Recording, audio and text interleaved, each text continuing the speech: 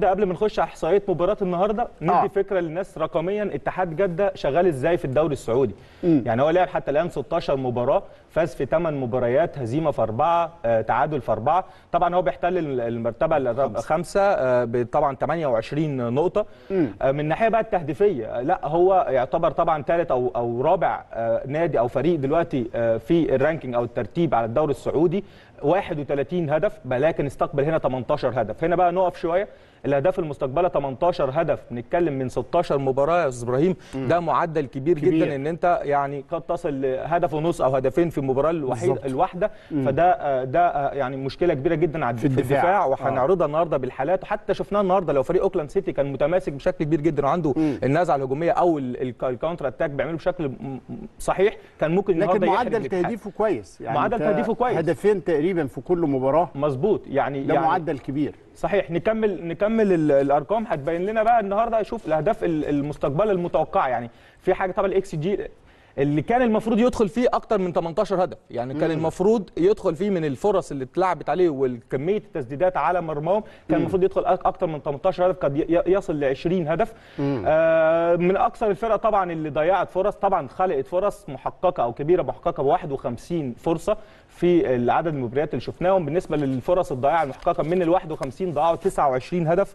كان. كان ممكن إن هم يصلوا لرقم كبير جدا حتى في السكورينج أو التهديف. فرص كبيرة م- محققه 51 في 16 مباراة أذكر. الأهلي عنده 75 فرصة محققة في ال 18 مباراة اللي لعبها أو ال آه 17 يعني إحنا معانا برضو إحصائيات النادي الأهلي عبر الموسم ممكن نعرضها بحيث كأننا بنترجم طيب كده لما البازي يخلص إحصائيته؟ ماشي ال- ال- نكمل الفرص ال- بعد كده الاستحواذ هو مرتب ثالث أو رابع فريق بيل- بيلعب بشكل بالاستحواذ بشكل كبير جدا في الدوري السعودي. وصل طبعا ليه؟ يعني تقريبا 58% من إجمالي المباريات اللي لعبها ال ال 16 مباراة. يا أستاذ إبراهيم ده كمتوسط. التمريرات الصحيحة بالمباراة. لا هنا بقى رقم كويس جدا. يعني إن أنت في المباراة الوحيدة بتعدي ال 400 تمريرة أو متقارب من ال 500 تمريرة آه، دي معناها أنت كويس. فريق طبعا لأنك أنت في الاستحواذ بتصل ل 58% من الاستحواذ بالدقائق حتى وبالنسب المئوية. دي معناه أنت لعيبتك لعيبة quality عالي بتمسك الكورة. في رجليها بتمرر بشكل صحيح. الكرات الطولية بقى ما بيلعبوش ال long ball أو الكرات الطوليه بشكل كبير. يعني إحنا بنتكلم 27 في المباراة منهم 15 مرة بتبقى صحيحة. يعني آه. الدقة حتى مش عالية. مش مش, عالية، الفريق اللي هو بيرمي الكرة الطولية في ظهر المدافعين لأ هو فريق بيلعب كره على الأرض بيلعب, بناء الهجمة أو ال build up من من الخلف للأمام بشكل منظم جدا. بوجود كانتي دلوقتي الراجل اللي بينزل وبينقل الفريق بشكل كويس. التمريرات المفتاحية من بيعمل 76 تمريرة مفتاحية دي معناها إن هم بيوصلوا لمرمى ال- الخصم بشكل كبير جدا. تقريبا من ثلاث لأربع مرات تمريرة مفتاحية أو key pass في المباراة الوحيدة. الواحده يعني إن هو ده معناها إن أنت أربع فرص قد تصل للمرمى وتهدد مرمى الخصم. فإحنا بنشوف عندهم الناحية الهجومية قوية جدا على عكس الناحية الدفاعية فيها مشاكل كبيرة جدا في استقبال الأهداف. عندهم آه، آه، ميزة حلوة جدا في الاستحواذ في التمريرات بيمسكوا الكرة بشكل كويس جدا بي- بيخلقوا فرص بشكل كويس جدا بيهددوا مرمى الخصم بشكل كويس جدا لوجود طبعا عمالقة عندهم. زي ما إحنا شفنا آه، كورنادو بنزيما طبعا كانتي فابينو روما زي ما بيسموه أو في في الراجل ال- الجناح اليمين بتاعهم لا بيعملوا شغل عالي جدا آه، من الناحيه ال- التهديفية. وده النهارده آه، طبعا جilberto هيعرض ال- الشكل العام للنادي الأهلي ونخش في احصائيات مباراة النهارده عشان هنقف عند بعض النقاط الفنية أو الأرقام الفنية. نعرضها نشوف إزاي اتحاد جدة قدر يخلص المباراة بسهولة النهارده. طيب دي أرقام اتحاد جدة في آخر 16 مباراة جilberto الأهلي في آخر مبارياته.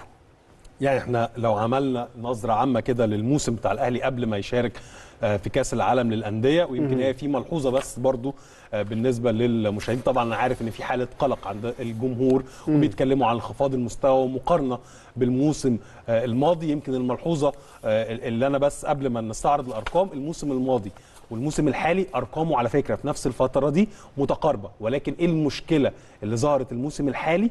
هي مشكلة واحدة إن النادي الأهلي بيستقبل أهداف أكتر في الفترة اللي هي نفس فترة الموسم نفس ال- الفترة، آه. وإن النادي الأهلي الموسم ال- ال- الماضي ابتدى بكأس السوبر المصري فك... لما كسب الزمالك فكان الأمر مختلف السنة دي إحنا ابتدينا بالسوبر الأفريقي والدوري الأفريقي في خسارة لبطولتين فده وهاي ليفل شوية بالظبط ومستوى طبعا أعلى آه، طبعا. كسفر وك... طبعا. كلاعب طبيعة بطولات. منافسه بالظبط آه. كده بادئ ببطولة كبيرة بالظبط فالأمور هنا هي دي اللي خلق حالة من القلق ولكن لما حتى عرضتها قبل كده في البيت الكبير الفكرة بتاعت إن الموسم ده والموسم الماضي رقميا إن ك- كمعدل تهديف ومعدل فرص قريبة جدا. عشان فالقلق ليه؟ القلق لأن طبيعي جدا. لما بتخسر آه، بطولات الناس طبيعي آه، بتقلق فالنهاردة لو هنستعرض إحصائيات النادي الأهلي بشكل عام آه، قبل كأس العالم للأندية في 17 17 مباراة آه. يعني برضو وحدة آه، قياس مع قريبة قريبة آه. كسبنا 8 التعادلات كتيرة طبعا سبع. تعادلات خسارة في مباراتين آه سجلنا 29 هدف إحنا شفنا اتحاد جدة في نفس سجل 31 ولكن إحنا عشان تعادلنا.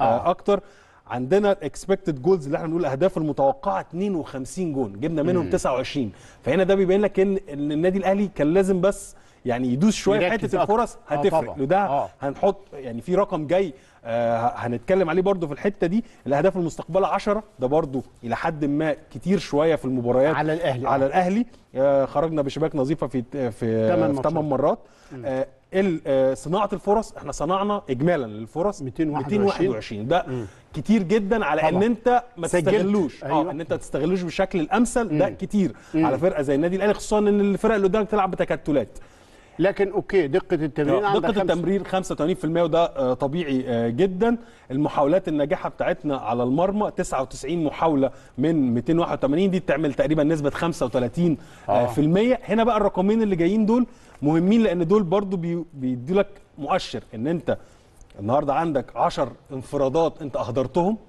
واحد لواحد بنقول كده واحد لواحد انت اهدرت 10 آه، كور وكور خبطت في القائم أو العارضة اللي هي كور مهدرة 12 كورة. فانت متخيل في 22 آه، كورة كان ممكن تحرز منهم كام هدف؟ 12 كورة جاية سواء قائم أو عارضة. وعندك 10 كور آه، انفرادات مهدرة فهنا إحنا بنقول إن النادي الأهلي بيوصل كتير ولكن في سوء توفيق وقلة تركيز في بعض الأوقات هي اللي بتتسبب إن أنت كن ممكن مباريات تتسهل عليك آه، من البداية. في آه، يعني ممكن نخش على حاجة اسمها توقيت أهداف النادي الأهلي. دي برضو بتديك مؤشر لشكل النادي الأهلي كان ماشي إزاي. توقيت الأهداف بص يا كابتن يا أستاذ إبراهيم. آه، في أول ربع ساعة سجلت هدف آه، واحد. ده أو يعني اجمالا أول نص ساعة إحنا مسجلين ثلاث أهداف. المشكلة هنا إن السنة اللي فاتت لا أول نص ساعة كنا مسجلين معدل أعلى. أكبر. ليه؟ لأن كان الفريق بيعرف في الضغط وتركيز أعلى. آه تركيز أعلى وضغط بنعمل ضغط عالي في البداية. قوي بنقدر على فكرة دي. المنطقة اللي فرقت. بالظبط هي لأن أول لأن نص دي ساعة لما بتعدي اولا الحالة البدنية بتتأثر. صحيح. رقم اثنين اللي قدامك معنويات الخصم. بيعلى. طبعاً. رقم ثلاثة أنت بتتسرع أكتر. صح. والجمهور بيقلق. وده اللي ظهر في مباراة زي الجونة ظهر في آه. مباراة زي سان داونز هنا. مع الحالة البدنية بتاعتك طبعاً. أصلا الشوط الثاني ما هياش أحسن. بالظبط كده. وتحديدا مباراة سان داونز هنا لأن أول ربع ساعة إحنا تقريبا ضربة جزاء كرة كهرباء بعديها كرة بيرسي تاو. لما كل دول ضاعوا الأمور اتصعبت شوية.